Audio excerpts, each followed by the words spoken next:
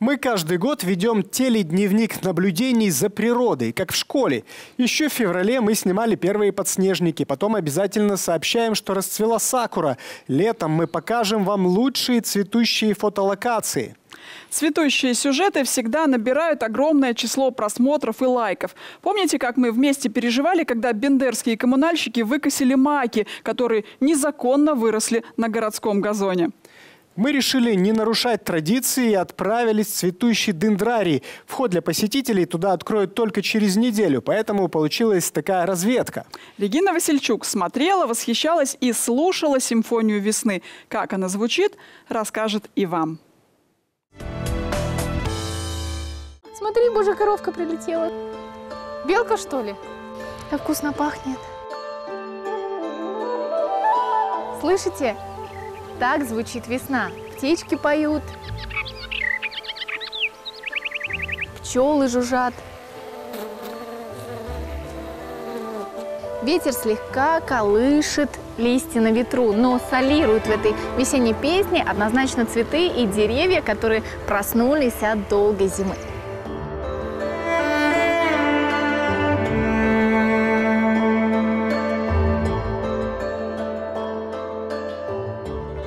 Первые нотки весны звучат ярко-желтым. Это красавица форзиция. Она расцветает одной из самых первых, как будто чувствует, как светит солнце, напитывается его светом, теплотой и начинает сама согревать всех, кто на нее смотрит. Весну форзиция встречает при полном параде и видно ее практически с любого уголка ботанического сада.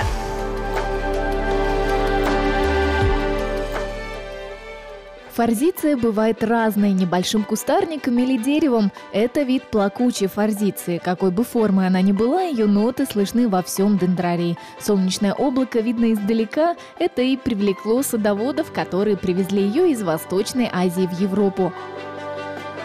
Под аккомпанемент пчел мы добрались до следующего символа весны – жимолость душистая. В садах ее высаживают для создания ароматических зон. Утонченное звучание кремовых цветов часто используют при создании парфюмерных композиций. А еще жимолость называют цветком вечной любви. С ней связана красивая легенда. Известный философ Пьер Абеляр и его возлюбленная Лоиза, которая была младше философа на 20 лет, так и не смогли быть вместе из-за гнева родственников девушки. Когда философ умер, Лоиза ходила к его могиле 20 лет. Позже ее похоронили рядом. Могилу возлюбленных обвили красивые ветви жимолости, осыпанные белыми цветами. Под нотой азиатских струнных инструментов расцветает сакура. Лепестки поют про нежность и умиротворение. В Японии период цветения вишни отождествляют с красотой и быстротечностью жизни. Да, это непримечательное с виду дерево тоже сакура, просто ранее и не махровая. Ее цветы отличаются тем, что они поменьше и не такие пышные, зато сакура уже расцвела и подпевает птичкам. В Японии даже придумали специальный праздник – праздник любования сакурой, ханами. Среди аристократии считалось почетным проводить время за играми под цветущими деревьями.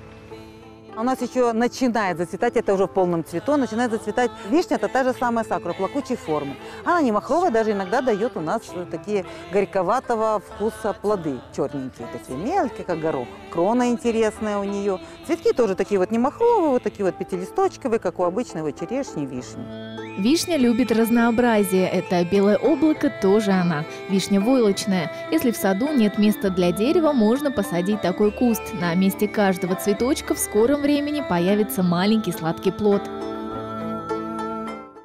Верхних нот перебираемся в нижний регистр. Японская айва звучит глубоким альтом. Хоть кустарник и небольшой, но алые цветы заявляют о себе громко. Айва настолько красиво цветет, что ее родиной считают Эдемский сад. А алый цвет послужил основой для легенды, в которой айва – факел, освещающий путь жизни. Дугообразные ветви усыпаны острыми колючками. Так айва защищает свою красоту. Кустарниковая айва цветет вот очень рано, затем у нее образуются плоды где-то вот как мелкие лимончики, жесткие плоды. Они вообще-то съедобные плоды. Учитывая то, что они жесткие, их, конечно, сразу употреблять в пищу нельзя. Но вот в чай пересыпанные сахаром там, или э, в компоты придает особый аромат. И в них очень много витамина С, почти как в лимоне. Это, можно сказать, наш северный лимон. А вот плоды алычи испробовали еще в третьем веке. Белоснежные цветы поют песнь весны от Закавказья до северных предгорий Гималаев. Дерево культивируется в садах и встречается в дикой природе. Часто его можно встретить и у берегов рек. Цветет алыча чуть меньше двух недель. Если алыча цветет преимущественно белым цветом, то персик нежно-розовым – это цвет зефира. Что удивительно, родина персика – это Китай, хотя у нас у каждого второго огородника можно найти такое дерево. К тому же его очень любят пчелы и фотоаппараты. Весенняя мелодия звучит ярче и отчетливее с каждым днем. Совсем скоро песню весны подхватит древовидный пион. Это растение звучит по-императорски. Древовидный пион высаживали в императорских садах. Все потому, что на одном таком кусте за период цветения, это примерно две недели, могло быть до 50 цветов, каждый из которых 30 сантиметров диаметром. Подпевать древовидному пиону готовится миндаль, слива писарди. Ближе к концу апреля запоют всеми любимая сакура в той же цветовой гамме и тональности и удина дерева и спирея ранее. Эту мелодию уже смогут услышать все, к тому времени ботанический сад откроется. Регина Васильчук, Дмитрий Редькович, Андрей Овчинников. Отражение.